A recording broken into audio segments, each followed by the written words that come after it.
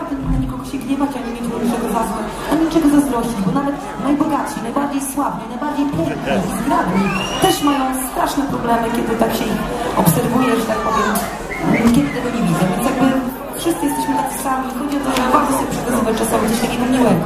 No to było dobre słowo. I to jest taka piosenka, która jest taka, żeby wam było miło.